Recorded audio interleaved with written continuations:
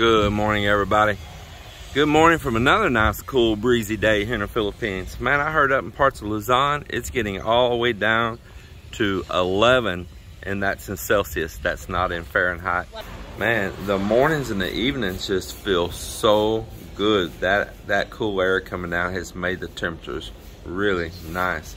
In fact, last night we were all sitting out at the beach, and everybody's complaining that they were cold and wanted to come inside. Like, what?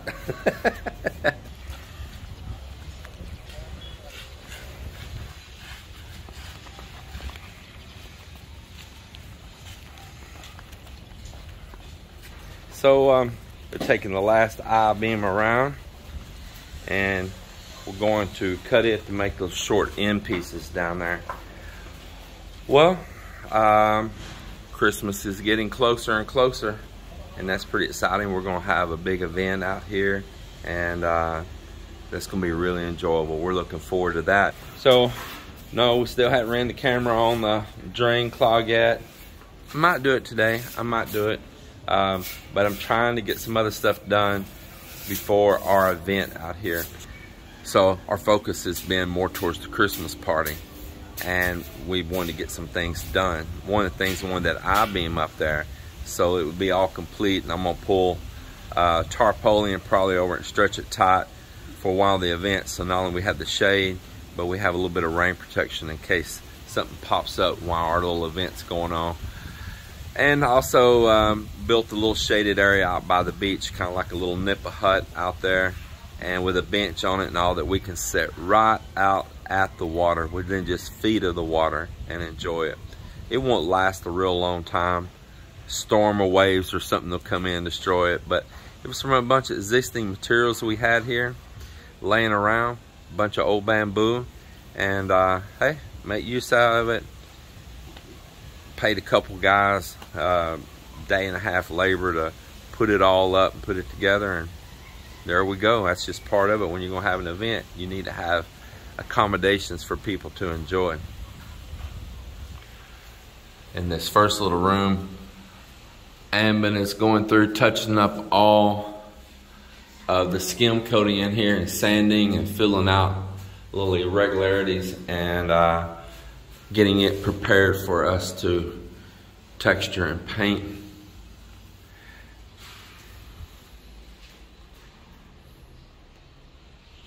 So you already prime and paint this both? Huh, primer, so you still need to paint it?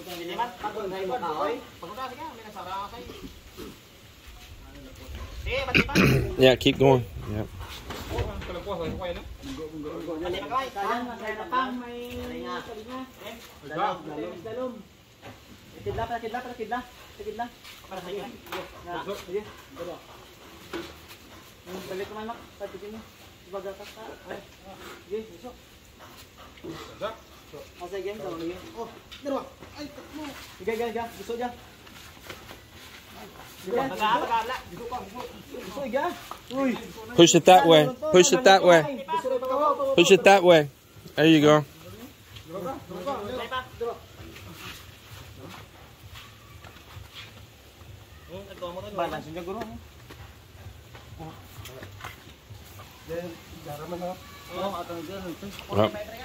And set it right here on this tab right here.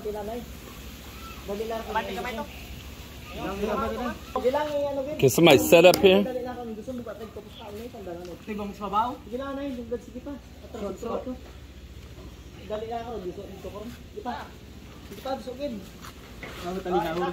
Ako. Be careful, don't let it slide. Yeah, hold on to it. Hindi kaya magsalo, iya ka sa tiyak. Hindi kaya Ano inyo, dyan inyo, dyan unahan, ano? Oh, y'all be careful. Don't let it slip off right here. Una lang dyan. Una guro dyan. Una nanay pa saka dyan. Babawi na siya. Pisik na ninyo. Karagan. Hindi ay tungtong na guys. Yeah, it's good. Yeah. Babaw. Babaw na tapos mo pagariya. Karundungan darwa. Dyan. Itong sa... O. Dungay, dungan. Alang alang irik. Tamo timur dyan karon nga bunday rat ron. Tungtong ay sa babaw lang. Tapos karon ay tanan. Dyan una belajar sa kaya. Dungan gitu, di gatong Oh, tungtong na sa babaw dyan. Una gaton. Oh, darwa. Alit, darwa. Oh, sige, lit. Na. Saklagid. Babatangan. Man, I hope this don't slide. Man, do we need to put a rope on this so we can keep a hold of it and it don't fall to that stainless if it slips? Ilang, ilang. Get that rope. Get the other end. Yeah. I'm positive. Now you're gonna have to. Now you gotta slide this down. You can just leave this hanging. It's okay.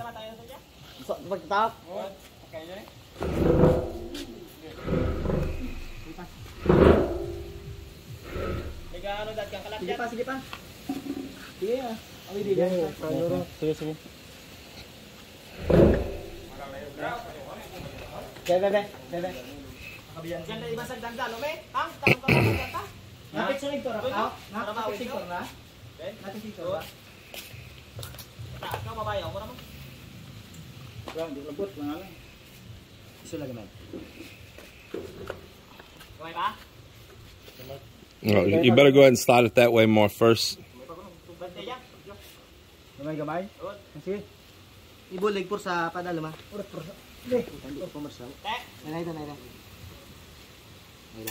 No, leave that tied. That's in case it slips out of your hand. It don't fall and damage all the stainless.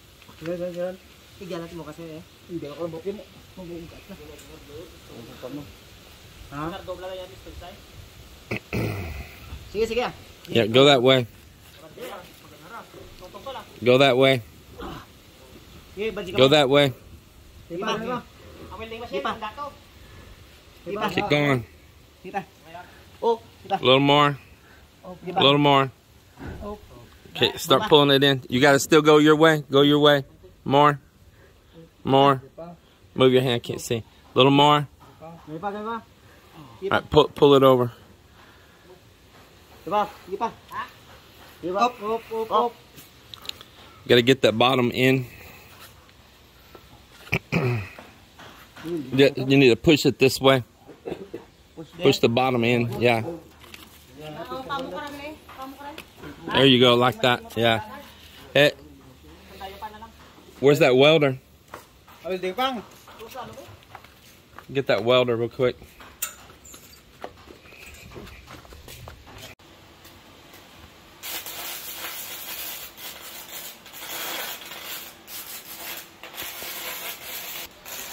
Well, we all been up there working for a while, making sure that frame is square. Because when they set that piece of steel up, if I look straight down it to the point where it's going to reach when we uh, cut a small piece, put at the other end, I can see it was off. And so sure enough, we uh, squared up the whole frame. And if you kind of want to know how to do that, imagine if you, you know, you had a square. And so you want, you, one of the ways you can do it is to pull a tape from this corner to this corner, and then pull it from this corner this corner, and cross check it, and those measurements should be the same. So if one of them's off, you can push it a little bit one way or push the frame a little bit the other way and it's going to make it square up. So like if you were out an inch and a half, say like one corner is an inch and a half longer on your measurement than the other way, well then you're going to scoot it three quarters of an inch and it's going to adjust itself then to where it's going to meet in the middle and it's going to be correct. So that's one method you can do it. Probably the easiest method too. So we got up there and did that. Uh, we checked our runs down our sides first to make sure that we're equal length on both sides. We should have been because we measured it and cut it to proportion, and we were. And we got some gaps up there we need to count for. So we we measured down both sides of the frame. We measured the width of the frame. So then we had all the same measurement. So then it's a matter of scooting it around uh, a little bit, you know, diagonal one way or the other, and making that measurement come right there and meet in the middle. So now every measurement all the way around it matches up and your cross measurements match up and you're square and you're good to go. Joel's in here getting a door set. Man, you've already got it hung just about, man. You're almost done. So the CR is gonna have a door on it now. Joel, I'm gonna disturb you just a second. I'm gonna show them the countertop piece you put on earlier. So he laminated this countertop earlier. I think that looks pretty good. And I've got a bit that we're gonna drill the holes for that bowl sink, for the drain in the middle, and for the faucet. Uh, he's still got to put the piece here on the front. You already grouted it in too, didn't you, man? Heck yeah, good job, dude. Heck yeah, so he's hanging the door. Once he gets it all exact and he knows it's dead on, um, within the next couple of days, we're gonna take the this door and the others down and put a finish coat over them, especially where they're in here being used on the CR. I'm gonna use that floor urethane, that two part, like we put on those little rings, and we're gonna do these doors with it. We're gonna make sure there's no dust in the air, and uh, we'll finish those with that. I think it'll look good. Now that we have the countertop piece placed on here, it's time to put in this bowl sink and it's time to put in this faucet right here. So underneath here in the concrete, in the concrete countertop before we laminate it, we left a large hole, bigger than this mark I have here. And that's so we can get up in there and connect and have room to move our hand around. And then we're gonna cut through this laminate. Now what I bought is a masonry type bit right here for cutting through granite, marble, tile. Um, you know, it's gonna be that, you know, diamond encrust. And these things are pretty expensive. You can see the gleaming all right there and. You see that. Um, it's not cheap. And I could not get a direct, perfect size. Uh, we took this faucet at their store. We looked at this. We put the tip, let me see if I kind of one op hand operating. And we tried it and there is flange still sticking out around on it. So the next size down, nobody stocks it. I went to many places, and so it was hard for me to even find this, but this one here will work. And I'll need to actually enlarge this hole a little bit. So what we'll do is probably hit it, hit it, hit it, enlarge a little bit around this bowl sink. So close the door there, he's grinding. So we transpose the mark where the sink drain is right here. We're gonna go down in here and do it, and then we're gonna transpose the one for the faucet, get it over here, and get those mounted in here today. And as you see, we have a door now on this restroom, this CR.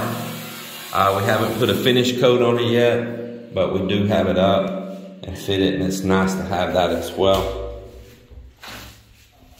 Yeah, take those off. This is supposed to screw directly on here. Let's see. It's made to, yep, there it is. It's so this bit that I bought here is made to screw directly on to a grinder. And this particular grinder, what I like about it when I bought it, is it is variable speed, so you can adjust the speed. You're not supposed to adjust it while the trigger's pulled. You're supposed to stop it and adjust it. It can tear it up. And it has a trigger, so you can instantly stop. There's no switch that's locked in place. You can just instant let go and stop it. So you got your power cord, everything. So we're gonna set this up, taped around so maybe we don't scratch up. Joel, you're gonna be the one. Go ahead and plug it up. Close that door.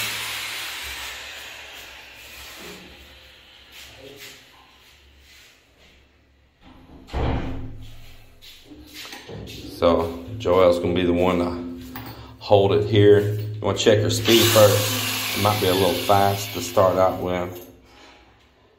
A little slower. Let's start out a little slower than that. Now when you get it down real slow, it kind of loses its power when you actually put it to a surface. We'll just try and adjust it up if you need to. probably, you might want to put your hand up on it on here or whatever you're most comfortable with so it don't jerk. You start slow. Now you want to start slow. So you want it spinning first. Pull the trigger first. There you go.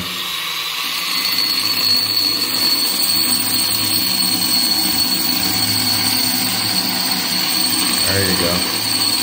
Hold the back up more. Hold, hold the back up a little bit more. You're kind of angled down a little bit.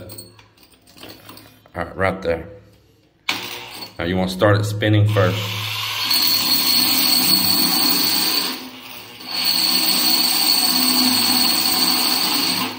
After we get a groove started, we'll speed it up.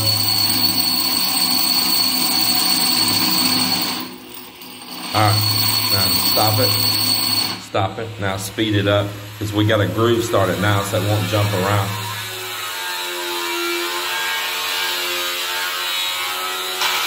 All right. Hold on. There we go.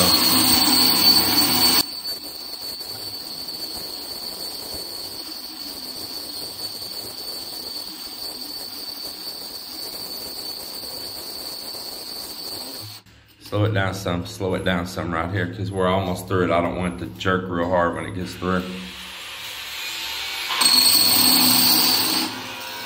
Oh, maybe too much. There it is.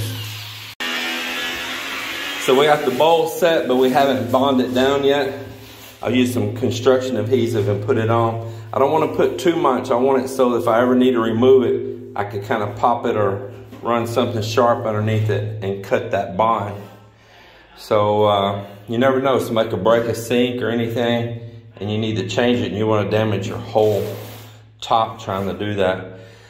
So don't want to over bond it. Um, but nevertheless, we got it and everything's here going uh, for that. And went, Joel went underneath and he drilled a pilot hole right where the faucet's going. And so we got that too. Now I'll tell you something I didn't realize. I'm gonna tell you the truth. When we were in there going through some of our stuff just then, come across this faucet and I have completely forgot. It had just been a while. I bought stuff in advance. I completely forgot that I had already bought the faucet for this particular bowl sink. Um, so I'm actually glad that I found that. It's going to be nice and on there, nice and perfect. Um, it's a really good one too. Just times went by and it absolutely slipped my mind. But nonetheless, the extra one I have is not a waste because we needed a faucet for another sink over in this next little guest room over here. So it's not a waste any which way. Slide that right up on there and twist it.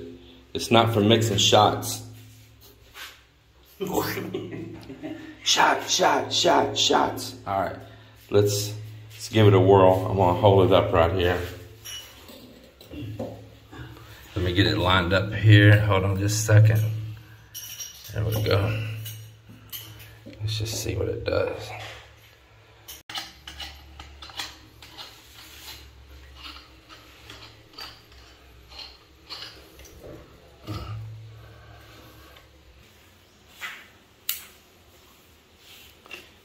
Can get a blade underneath there at a later date. I'm not they're gonna be sitting it in no cement bed or anything. We'll kind of just put it towards the inside of that and it should smash outwards. That's more than enough right there. In fact, if that smashes out, it's gonna be a mess to clean up, but I think you can get your fingers underneath there and clean it up.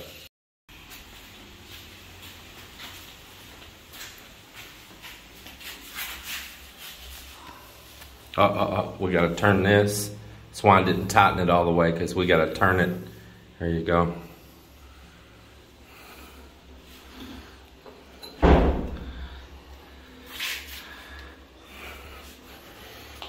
me just seat it a little bit. All right, there it is. And like I said, I didn't tighten the faucet up completely yet. I just got it snug so that I wanted to line this up right with one of these little scallops in this. And uh, that'll be it right there. Beautiful. Beautiful, beautiful. That's nice. Yeah, that is nice. So didn't squeeze out too bad. You can always get underneath there and hit that. Um, I might try to go underneath there with a, a bead of white caulk. Limited space you can work. Once you see if you can get some of that extra out of there, you might have to put it on the end of the screwdriver or that knife outside and just kind of wipe some of that extra out right there. Next, we're going to be over here on this one. And uh, I can see we need to pull the sink back up. Now, we just have the sink shoved in the hole right now, right? It's just sitting here, right? Because we're going to need to prep this back here. I can see there's some concrete kind of sticking out where it don't need to be.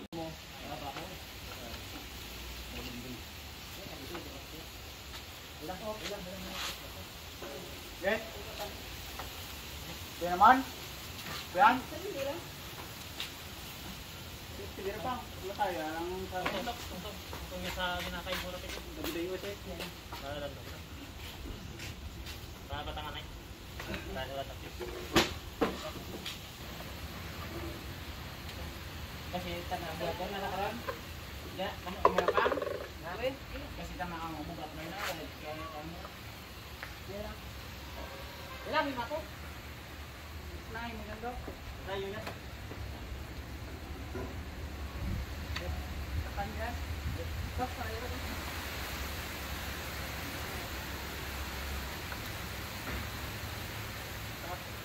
เสื้อ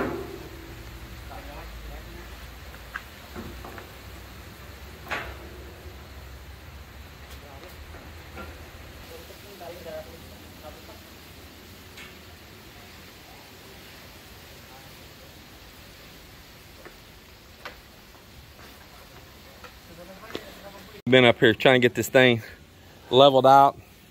And in the beginning, I had bought that uh, long flat plate and we cut little tabs, little pieces, so, so you can use them for shims. And we shimmed around here to get this level. Then we'll weld those all up. So there's a couple shims here, over in that corner, and like one right over there. And that's all we had to put. And I tell you what, it's not too bad. And that's just normal to have to shim things like that. Um, these guys didn't like get this all poured just dead on accuracy, and you of can't expect them to either.